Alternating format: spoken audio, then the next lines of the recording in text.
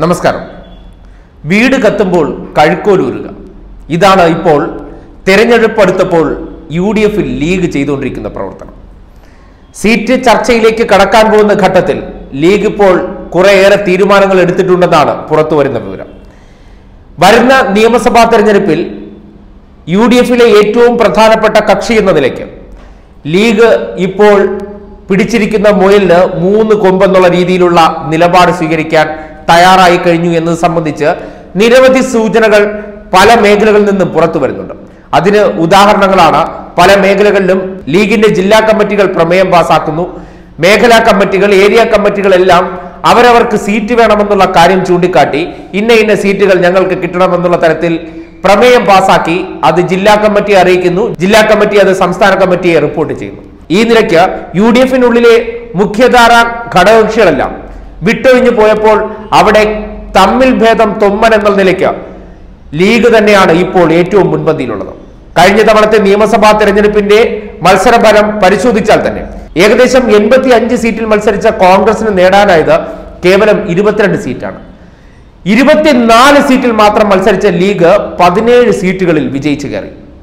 അപ്പോ ജയപരാജയത്തിന്റെ ഇക്വേഷൻ എടുത്തു കഴിഞ്ഞാൽ ലീഗിന് കോൺഗ്രസിനെക്കാളും ശതമാനക്കണക്കിൽ കൂടുതലാണ് എന്നുള്ള കാര്യത്തിൽ യാതൊരു തർക്കവുമില്ല. ഇരുപത്തിനാലെണ്ണത്തിൽ കേവലം ഏഴ് സീറ്റ് മാത്രമേ അവർ തോറ്റുള്ളൂ.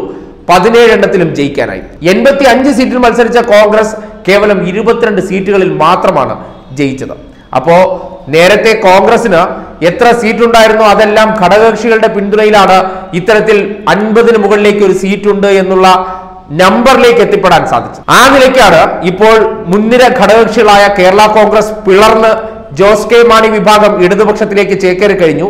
ഇതോടൊപ്പം തന്നെ വീരേന്ദ്രകുമാറിന്റെ പാർട്ടിയായ ജനതാദളം ഇടതുപക്ഷത്തിനൊപ്പം ചേർന്ന് കഴിഞ്ഞപ്പോൾ ആകെ ലീഗിന് പുറമെ ജനതാദൾ യു എന്നും അല്ലെങ്കിൽ ജോസ് കെ മാണി വിഭാഗം കളഞ്ഞിട്ട് പോയ പി ജെ ജോസഫിന്റെ ഒരു വിഭാഗവും മാത്രമാണ് എടുത്തു പറയത്തക്ക രീതിയിൽ യു ഡി എഫിനകത്തുള്ള ചെറിയ മുന്നണികൾ. അപ്പോ ആ നിലയ്ക്ക് നോക്കുമ്പോൾ എന്തുകൊണ്ടും ബോൾ ഇപ്പോൾ ലീഗിന്റെ കോർട്ടിൽ തന്നെയാണ്. ലീഗ് ഏത് സൈഡിലോട്ട് അടിക്കുന്നോ അവിടെയെല്ലാം ഗോൾ കയറുന്ന ഒരു അവസ്ഥയിലാണ് കോൺഗ്രസ് നേതൃത്വത്തിന് നിന്നുകൊടുക്കേണ്ട ഗതികേട്. ഗോളിയായിട്ട് കൈയും കെട്ടി നിൽക്കേണ്ട ഗതികേട് മാത്രമാണ് സംജാതമായിട്ടുള്ളത്. ഇപ്പോൾ ലീഗ് നേതൃത്വം മുപ്പത്തി അഞ്ച് സീറ്റിൽ കുറയാതെ വേണമെന്നാണ് ആവശ്യം ഉന്നയിച്ചിരിക്കുന്നത്. കൂടുതൽ ആവശ്യപ്പെടാൻ പോകുന്നുണ്ടെങ്കിലും നാൽപ്പത് സീറ്റ് വരെ ചോദിക്കാൻ തയ്യാറായേക്കും. മുപ്പത്തഞ്ചിൽ ഒതുങ്ങാനാണ് തീരുമാനമെന്നാണ് ഇപ്പോൾ അറിയാൻ സാധിക്കുന്നത്. അതായത് ഘടകകക്ഷികൾ കൈവശം വച്ചിരുന്ന ഏകദേശം സീറ്റുകളിൽ ഒരു പതിനൊന്ന് സീറ്റെങ്കിലും അധികം ഇത്തവണ കിട്ടണമെന്നുള്ള പിടിവാശിയിൽ തന്നെയാണ് ലീഗ്. ലീഗിന് പ്രഖ്യാപിതമായ ഒരു നിലപാടുണ്ട്. അതായത് സംസ്ഥാനത്തൊട്ടാകെ ലീഗിന്റെ സ്ഥാനാർത്ഥികൾ അല്ലെങ്കിൽ ലീഗിന്റെ ജനപ്രതിനിധികൾ വേണമെന്നൊരു നിലപാടുകാരാണ് മുസ്ലിം ലീഗ്. അവർ തുടക്കകാലം തൊട്ട് തന്നെ അതിനുവേണ്ടി പരിശ്രമിക്കുന്നുണ്ട്. പക്ഷേ ഇതുവരെ യാഥാർത്ഥ്യമായിട്ടില്ല. നിർഭാഗ്യവശാൽ തെക്കൻ കേരളത്തെ സംബന്ധിച്ച് നോക്കുകയാണെങ്കിൽ കൊല്ലം ജില്ലയിലെ പുനലൂർ മാത്രമാണ് അവർക്ക് പ്രാതിനിധ്യമുള്ള ഏക മണ്ഡലം. ഇതിനുശേഷം എറണാകുളത്തെ കളമശ്ശേരിയും പിന്നീട് മലബാർ മേഖലയിലാണ്. മലബാർ മേഖലയിൽ തന്നെ വയനാട് മണ്ഡലത്തിൽ ലീഗിന് വളരെ സ്വാധീനമുള്ള ഒരു മേഖലയാണ്. വയനാട് ജില്ലയെ സംബന്ധിക്കുന്നിടത്തോളം സുൽത്താൻ ബത്തേരി മാനന്തവാടി കൽപ്പറ്റ എന്നീ മൂന്ന് മണ്ഡലങ്ങളാണ് ആകെയുള്ളത് ഈ മൂന്ന് മണ്ഡലങ്ങളിലും കാലാകാലങ്ങളിൽ കോൺഗ്രസ് ആണ് മത്സരിച്ചുകൊണ്ടിരിക്കുന്നത്. കൽപ്പറ്റയെ സംബന്ധിച്ച് നോക്കുകയാണെങ്കിൽ കൽപ്പറ്റയിലെ ജനപ്രതിനിധി മാത്രം ഇപ്പോൾ സി പി എമ്മിനോടൊപ്പമാണ്. സി പി എം കഴിഞ്ഞ പ്രാവശ്യം ജയിച്ചൊരു മണ്ഡലം കൂടിയാണ്. അപ്പോ ഈ കൽപ്പറ്റ മണ്ഡലം ഇത്തവണ ലീഗ് നേതൃത്വത്തിന് വേണമെന്നുള്ള ആവശ്യം ശക്തമായി ഉന്നയിച്ചിട്ടുണ്ട്. കഴിഞ്ഞ തവണ വീരേന്ദ്രകുമാർ പക്ഷത്തിന് കൊടുത്തിരുന്ന ഈ സീറ്റാണ് ഇപ്പോൾ ലീഗ് നേതൃത്വത്തിന് വേണമെന്ന ആവശ്യം ഉന്നയിച്ചിട്ടുള്ളത്. ഇതോടൊപ്പം തന്നെ കോഴിക്കോടും കണ്ണൂരും ഉൾപ്പെടെയുള്ള പ്രദേശങ്ങളിൽ കൂടുതൽ സീറ്റ് വേണമെന്ന ആവശ്യവും അവർ മുന്നോട്ട് വയ്ക്കുകയാണ്. ഇത് കൂടാഞ്ഞിട്ടാണ് തെക്കൻ കേരളത്തിലെ എല്ലാ ജില്ലകളിലും ഓരോ സീറ്റെങ്കിലും ലീഗിന് വേണമെന്ന നിർബന്ധ ബുദ്ധി ഇപ്പോൾ അവർ മുന്നോട്ട് വയ്ക്കുന്നത്. അവർ ഇതിലൂടെ ലക്ഷ്യപ്പെടുന്നത് വളരെ കൃത്യമായിട്ടുള്ള ഒരു കാര്യമാണ്. ഇപ്പോഴത്തെ സാഹചര്യത്തിൽ പാർട്ടി വളർത്താൻ കിട്ടിയ ഒരു അവസരമാണ് കോൺഗ്രസ് ഏകദേശം തകർന്നു നിൽക്കുന്ന ഒരു സന്ദർഭമാണ്. ഈ സന്ദർഭത്തിൽ പിടിമുറുക്കിയാൽ അല്ലെങ്കിൽ അവർ കൈവിട്ടാൽ കാര്യങ്ങൾ കൈവിട്ടു പോകുമെന്നുള്ള കാര്യത്തിൽ യാതൊരു തർക്കവുമില്ല. അപ്പോ ഈ സന്ദർഭത്തിൽ പയ്യെ അങ്ങ് സ്ക്രൂ മുറുക്കി കാര്യം നേടുക എന്നുള്ളതാണ് ലീഗ് നേതൃത്വത്തിന്റെ സൈക്കോളജിക്കൽ മൂവ്മെന്റ് ഈ മൂവ്മെന്റ് ഒരു പക്ഷേ ലക്ഷ്യം കാണുമെന്നുള്ള കാര്യത്തിൽ യാതൊരു തർക്കവുമില്ല. കോൺഗ്രസിന് മറ്റ് നിർവാഹമില്ല. എങ്ങനെ പിടിച്ചു നിൽക്കാൻ പറ്റുമെന്ന് അവർ തന്നെ ആലോചിച്ചുകൊണ്ടിരിക്കുകയാണ്. ഇപ്പോൾ തന്നെ മധ്യ കേരളത്തിൽ കേരള കോൺഗ്രസ് ഇല്ലാത്തതിന്റെ ഭാഗമായിട്ട് അവർ പി സി ജോർജിനെ സമീപിക്കുന്നുണ്ട്.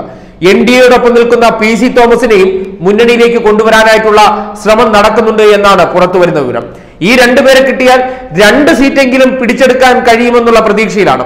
പി ജെ ജോസഫിൽ കോൺഗ്രസിന് വിശ്വാസം നഷ്ടപ്പെട്ടു പോയോ എന്നുള്ള സാഹചര്യം പോലും നിലനിൽക്കുന്നുണ്ട്. എന്തായാലും ഇപ്പോഴത്തെ സന്ദർഭത്തിൽ ലീഗിന് ലോട്ടറി അടിച്ച അവസ്ഥയിലാണ്. ഏത് തരത്തിലും യു ഡി എഫിനകത്തെ പ്രബലരാകാനായിട്ടുള്ള ശ്രമം അവർ തുടങ്ങിക്കഴിഞ്ഞിട്ടുണ്ട്. എന്തായാലും ഒരു പക്ഷേ യു ഡി എഫ് ആണ് സംസ്ഥാനത്ത് അധികാരത്തിൽ വരികയാണെങ്കിൽ ഉപമുഖ്യമന്ത്രി സ്ഥാനത്തിന് വേണ്ടിയുള്ള ചർച്ചയും അല്ലെങ്കിൽ സമ്മർദ്ദവും ശക്തമാകുമെന്നുള്ള കാര്യത്തിൽ യാതൊരു തർക്കവും വേണ്ട. കഴിഞ്ഞ യു ഡി എഫ് സർക്കാർ അധികാരത്തിൽ വന്നതിന് ശേഷം ലീഗ് നേതൃത്വം അഞ്ചാം മന്ത്രിസ്ഥാനത്തിന് വേണ്ടി ഉണ്ടാക്കിയ കലാപത്തെക്കുറിച്ച് ആരും മറന്നു കാണാനിടയില്ല. മഞ്ഞളാംകുഴി അലി എങ്ങനെയാണ് മന്ത്രിയായതെന്നത് സംബന്ധിച്ച് കെ മുരളീധരനൊക്കെ അന്ന് നടത്തിയ പരസ്യ പ്രസ്താവന ഒന്ന് പരിശോധിച്ചാൽ എല്ലാവർക്കും കൃത്യമായി ബോധ്യപ്പെടും. ആ നിലയ്ക്കാണ് ഒരുപക്ഷെ യു ഡി എഫിന് ഈ തെരഞ്ഞെടുപ്പ് ജയിച്ചു കയറണമെങ്കിൽ ലീഗിന്റെ കാൽ പിടിക്കേണ്ട ഗതികേടാണ്. ആ കാലുപിടുത്തത്തെ കൃത്യമായി ചൂഷണം ചെയ്യാനും ലീഗ് നേതൃത്വം തയ്യാറായിട്ടുണ്ട്. ആ ചൂഷണം ചെയ്യൽ വരും കാലങ്ങളിൽ കോൺഗ്രസിന് പല മേഖലകളിലുമുള്ള സ്വാധീനം കോൺഗ്രസിന്റെ പിൻപറ്റി നിന്ന് അവർ സ്വന്തമാക്കി എടുക്കാനായിട്ടുള്ള ശ്രമം ആരംഭിച്ചിട്ടുണ്ട്. ഇതിന്റെ അപകടം കോൺഗ്രസ് നേതൃത്വം മനസ്സിലാക്കിയതിനു ശേഷം എല്ലാ കാര്യങ്ങളും അതേപടി നിങ്ങൾ അംഗീകരിച്ചു കൊടുത്താൽ വരും കാലങ്ങളിൽ ഇപ്പോൾ നിങ്ങൾ നിൽക്കുന്ന സ്ഥാനത്ത് ലീഗ് കയറി നിൽക്കുകയും നിങ്ങൾക്ക് അവരുടെ പുറകിൽ ബി ടീമായി നിൽക്കേണ്ട ഗതികേട് വരുമെന്ന് കോൺഗ്രസ് നേതൃത്വത്തെ ഓർമ്മിപ്പിക്കാൻ ആഗ്രഹിക്കുകയാണ്.